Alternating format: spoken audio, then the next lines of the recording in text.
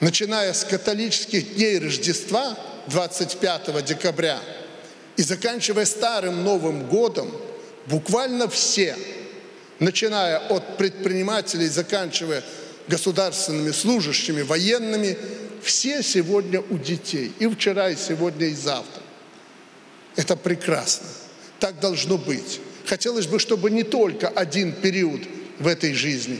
И я хочу вас от всей души, их всех не наградишь, их тысячи, их всех не выведешь на сцену, их десятки тысяч, которые отозвались на мой призыв и поехали к детишкам, особенно к тем, которые остались без попечения взрослых, без родителей.